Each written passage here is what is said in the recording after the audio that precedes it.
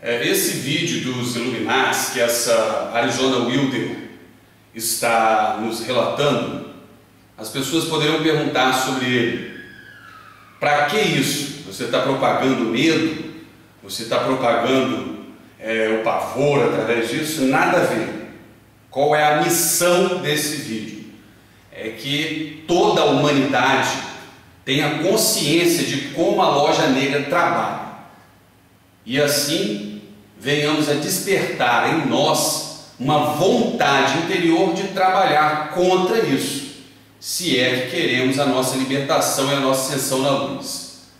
Por exemplo, denunciando coisas contra o livre-arbítrio das pessoas, denunciando coisas ruins, ficando alerta contra a política do roubo, os banqueiros internacionais, contra a infiltração no governo, contra as propagandas subliminares, etc, etc, etc.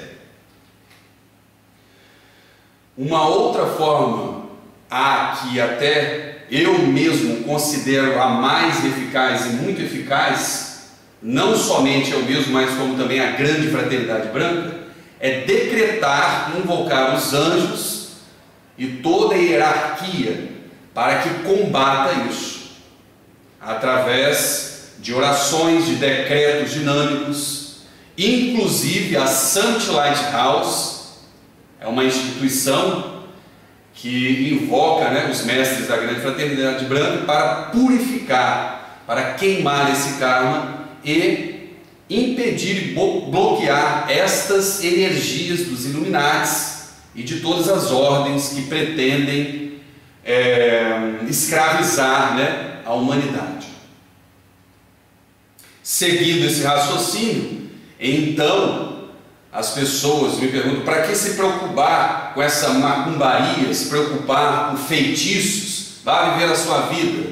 Ora, isso é um egoísmo, isso é uma visão de uma pessoa tacanha que só vê televisão, que está hipnotizada pela moda, pelos carros, enfim, justamente o programa que os Illuminati querem, que a pessoa seja um robozinho do sistema, sem saber por que vive, para quê e qual é o sentido.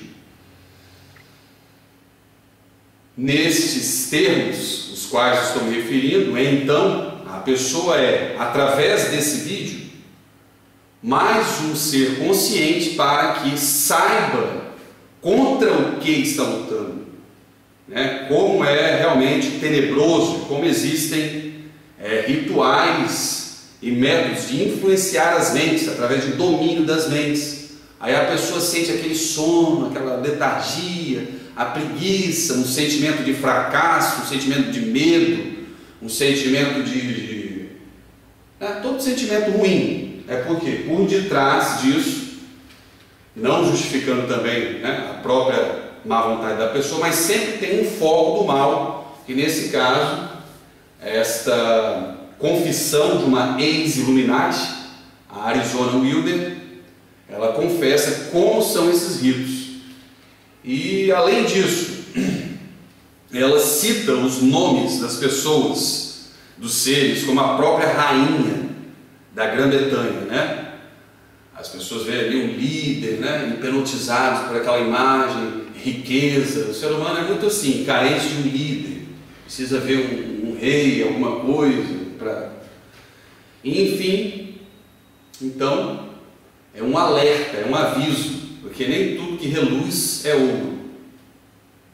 Mas no final dos tempos, como é o dia galáctico, tudo vai ser mostrado à luz inclusive a verdadeira imagem interior de muitos desses seres iluminados que é, têm, né, entre aspas, dominado a economia a política, enganando as nações e o povo e roubando a luz, porque, como é sabido pelo ensinamento, um reptiliano, no caso que são eles, os répteis, que vieram de outros planetas para sugar energia, né?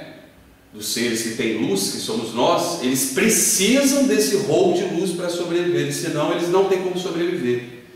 Ou seja, nós temos que lutar contra isso, seja através de desligar um pouco a televisão, seja através de nos fascinar tanto com o materialismo, seja através de um aplaudir igual um bobinho, um político, ou um rei, ou um castelo, etc, etc, etc. Então essa é a nossa missão no final dos tempos, nessa transição para a Era de Ouro, a conscientização. E a conscientização é saber como e que de forma também atuam as trevas e quem são esses seres.